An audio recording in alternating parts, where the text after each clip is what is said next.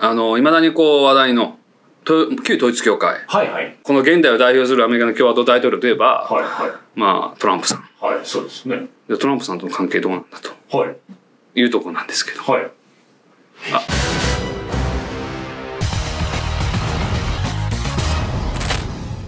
あると思います？この話の流れで言ったらね、ね、あるんですよ、それが。えー、七男の、七男、はい、ショーンっていう人がいて、ショーン。このショーンさんっていう人が、まあ、かなり飛んでる人で、結婚式に銃持ってきてみんなで、ライフルを持って結婚式やるとかね、はやってるんですけど、はい。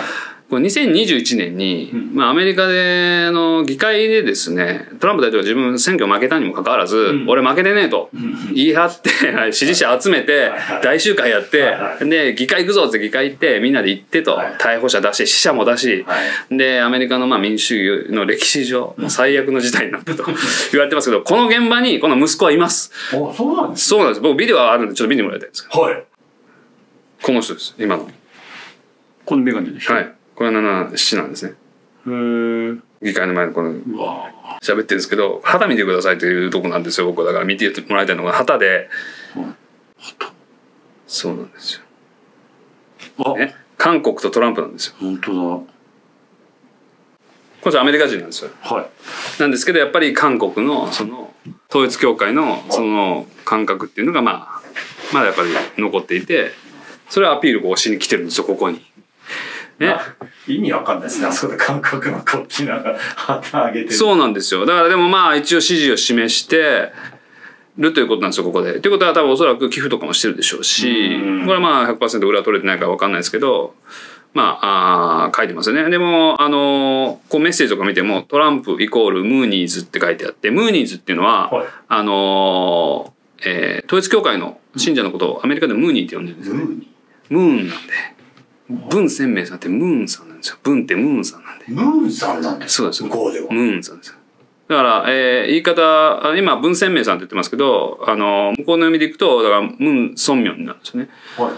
あだムーンっていうムンですよね。で、ムーンなんで、で、それはカルト教団、あの、アメリカの社会学の教科書とか見ても、はいムーニーズって出てますよ。ムーニーっへて。ーそれは、あの、統一教会のことですね。はあ、そうで、ムーニー、ムーニーって読むんですよ、向こうでは。あ、そうで、これ書いてるのは、メッセージ書いてるのも、ムーニーイコールトランプサポーターテロリストって書いてますけど、まあこういうメッセージを皆さん書いてくるっていうね。だからみんなムーニーって言うとアメリカわかりますよ。統統一教会で。へー大体あの、大学とか行ってる人たちは皆さんわかります。あ、やべえやつだってなる。ムーニーって言うとね、やっぱりそのカルト教なんていうのはやっはいはいはいぱあれに入ってるはい。んですよね。で、だからそれの息子なので、えーで韓国の方は旗をね、あそこで掲げるっていうことですから。で、しかも銃の会社もやっていて、いつでもやるぞって感じな、みたいな感じで受けるじゃないですか、やっぱり。なんでしょう。あ感覚がわかんないですけど、その、わざわざ韓国の旗上げることないじゃんって思っちゃう。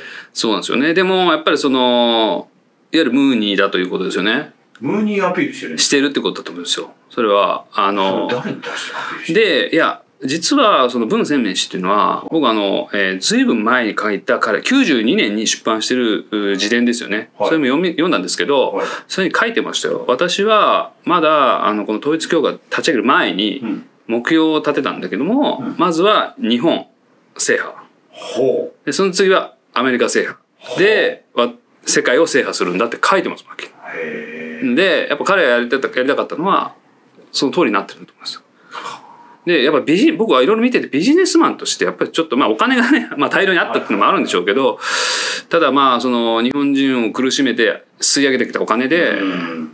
かなりやっぱビジネスとしては、うん未だに成功してますんで、ビジネスあの、海産業のビジネスで成功してるんで、えーその点はね、やっぱりその、まあ、あんだけの人がはいついていくわけですから、い洗脳されたとはいえですよ。はい。やっぱり何かはあったんだろうと、教祖として。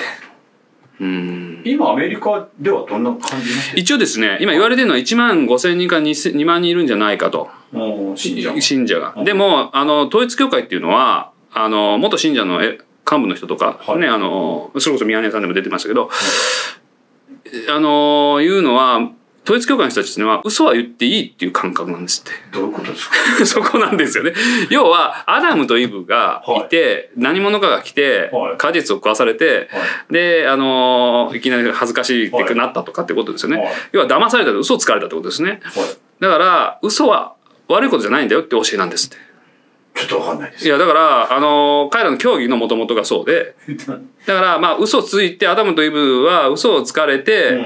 あのー人間らしさになを取り戻したってことですね。人間らしさで言い方がいいのか分かんないですけど、僕宗教のこの、人間になった。なっていくってことですね。要するに人間のこの恥じらいとか身につけたり。きっかけが嘘だったから嘘はいいことっていう。そういうことです、そういうことです。か。で、あの、統一教会の考え方では、その後に出てきた救世主なのが文鮮明氏なわけですから、で、もともと、そのアダムのイブたちの罪深さっていうのは嘘から始まってるところなんで、じゃあ嘘ダメじゃないですかいや、でも、だから嘘はいいんだと。で意味がわからないいや、だからそういう風に始まってるので、嘘はいいんだっていう感覚なんだと。嘘ついていいのが経典に入って一応、だと。で、だからそれは多分、おそらく幹部の人たちだけで言ってることなのかもしれないですけどね。ねだからこそ、要は何が言いたいかというと、えー信者数も本当のことは言う必要ないっていううん。のがあって、うん。だから今、そこに戻るんですけど、1万5千か2万人とか言ってるんですけど、多分実際は数千人じゃないかと。相当持ってますね。そうなんですよ。ただですよ、これさっきトランプの話になりましたけど、州ごとにはい選挙やってきますよね。はいで、激戦州って限られてる。うんそのうちの、例えば一番最初どこで勝てば、うんある程度勢いつく。んっていうことは結構ピンポイントなんですよね、アメリカン大統領の勝負って。そこに、今1000人でもいいですよ。送り込んで、大量投入大量投入、1000人ですよ、例えばは投入して、で、アメリカ個別訪問、ピンコン全部やって、で、だってトランプさんは、あの、負けた時の選挙の時に、あの、個別訪問、あはい俺100万件やったんだと。へで、自慢言ってるぐらい。だからそれが本当に左右するんですね、アメリカの大統領選っていうのは。だから個別訪問とか電話は大事なんですよ。で、バイデン氏はコロナもあったんで、やらないって最初言ってたんです。でも結局、それじゃ負けるんで、最後はやったんですね、結局。みたいなこともあって、だからそれに1000人集まって、へやってくれるってことになれば、それでもボランティアで来るんで、だからそういう影響力があるんで、せ数千人っていうのは少ないかっていうと僕は少ないとは思わないんですよね。影響力を行使するっていう意味では。えこれは信者の方は韓国系がほとんどなんですか？いや、そんなことないです。アメリカ系の人もいますしあ、そうなんですはい。日本系の人もやっぱりいますよね。日本系の人多いですよ。日系の人とか日系の人も多いですよね。やっぱりそのアメリカに行くと特にカリフォルニアはまた別なんですけど他の州とか行くとやっぱアジア人同士っていうのもちょっとあったりとかするんですよね。でカリフォルニアの場合はちょっとそのアジア人同士の揉め事があるので ちょっとあれなんですけどそんな日本の今度話はそ聞きたいんですけどうやりましょうか。